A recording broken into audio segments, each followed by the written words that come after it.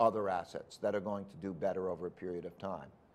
And when you do that, the most important thing I, I can convey to you is to diversify well. Because I can guarantee you that one of those assets, and you won't be able to pick the right one, will be disastrous in your lifetime. That you will lose half of that savings if you're in the wrong one, and you won't know what the right one is. And so pick different countries, pick different um, asset classes, and I could probably take too long explaining how you might do that. But, but so that would be the, the second thing to learn. First thing is think about how to save. Be cautious about debt.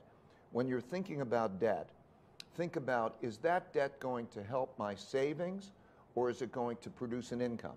Sometimes debt, like buying a house or buying an apartment or buying an asset, it produces forced savings. Forced savings is a good thing.